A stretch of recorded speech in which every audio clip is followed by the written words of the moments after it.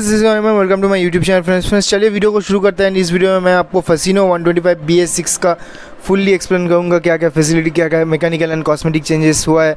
इसके साथ गाड़ी अभी जो यामाहा ने लेके आया है, इसमें गाड़ी में बहुत सारे फैसिलिटीज़ ऐड किया गया है। जैसे कंपनी क्लेम कर रहा है कि 30 percent more power and 16 percent more mileage मिलेगा। उसी के साथ इसका engine B S six compliant है।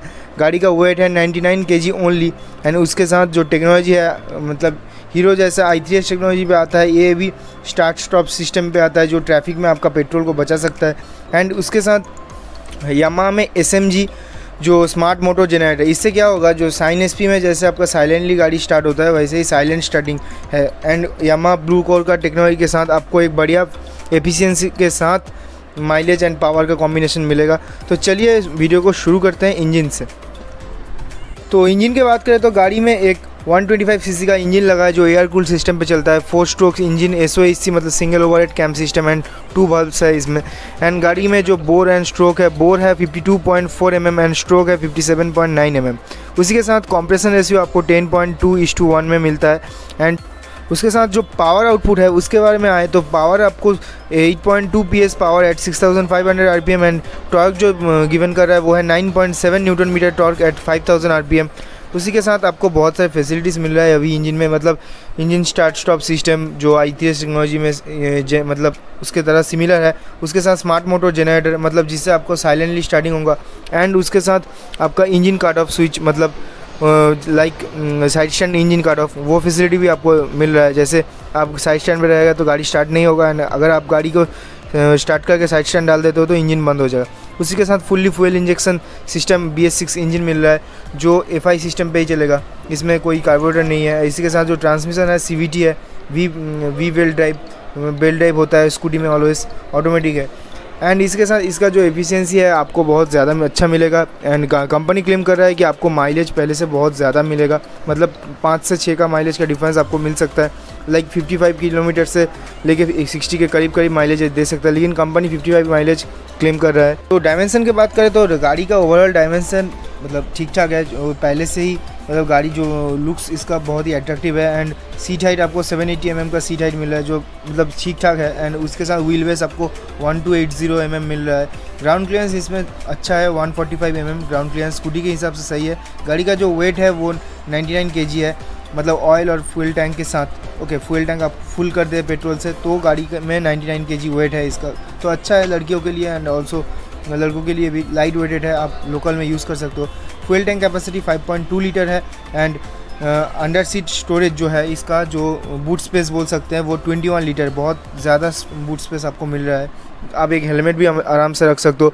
गाड़ी में पीछे आपको V shape tail light and front में आपको नॉर्मल हेलोजन लाइट ही मिल रहा है। इसमें एलईडी नहीं दिया गया है। इसी के साथ आपको सामने थर्टी फाइव वाट का एंड पीछे ट्वेंटी वाट और फाइव वाट का जो normally five normally five volt चलेगा बट ब्रेक जब प्रेस करेंगे तो 21 वाट का ही बल्ब चलेगा. ओके एंड डीसी कनेक्शन है 12 वोल्ट का है. सस्पेंशन सिस्टम के बारे में बात करें तो सामने आपके टेलीस्कोपिक फॉर्क मिल रहा है, जो आपको अब और ज़्यादा अच्छा मतलब राइडिंग क्वालिटी देगा. उसी के साथ फ्रंट में आपको जो टायर्स मिल रहा है, वो 90 बाई 90 बारह इंच का व्हील है मतलब बड़ा व्हील मिल रहा है. इसके साथ पीछे आपको 110 बाई 90 सेक्शन का 10 इंच का व्हील मिल रहा है. मतलब पीछे का जो टायर का थिकनेस है, वो नॉर्मल जो स्कूटीज है, उससे बहुत ज़्यादा है one ten by ninety okay and इसी के साथ इसमें जो व्हील है, वो छोटा है, दस इंच का व्हील है ट्यूबलेस टायर्स मिल रहा है आपको एंड पीछे आपका जो सस्पेंशन सिस्टम है, वो है यूनिट स्विंग सस्पेंशन सिस्टम जो सिंगल सस्पेंशन सिस्टम होता है स्कूटी में एंड उसी के साथ जो जो बाकी सब इक्विपमेंट्स है गाड़ी का बॉडी सब कुछ मेटल से ही बना है। इसके साथ आपको यूबीएस ब्रेकिंग सिस्टम मतलब यूनियन ब्रेकिंग सिस्टम बोल सकते हो आप C B S like same braking system combi braking system मिल रहा है। आपको इसका डिस्क वेरियंट में भी मिलेगा। डिस्क आपको 190 नाइन्टी mm का डिस्क एंड ड्रम ब्रेक्स मिलेगा। एंड uh, मतलब गाड़ी बहुत सारी फैसिलिटीज़ में अवेलेबल है। दोनों ड्रम ब्रेक भी ले सकते हो डिस्क विद ड्रम भी ले सकते हो। लेकिन दोनों में ही आपको यूबीएस मिलेगा। गाड़ी के कलर सेक्शन के बारे में बात करें तो डीलक्स मॉडल में आपको दो कलर मिलता है। जो है dark matte black and copper colour का एक मिल रहा है। एंड उसी के साथ स्टैंडर्ड में आपको फाइव कलर्स मिल रहा है। एक है blue colour matte blue matte black cyan blue उसके साथ कॉकटेल आपका कॉकटेल येलो जो कलर है उसके साथ रेड कलर मिल रहा है। तो फ्रेंड्स इस सेगमेंट में अगर आप जाए तो गाड़ी इसका ऑन रोड प्राइस करीब करीब नाइन्टी थाउज़ेंड के करीब करीब है।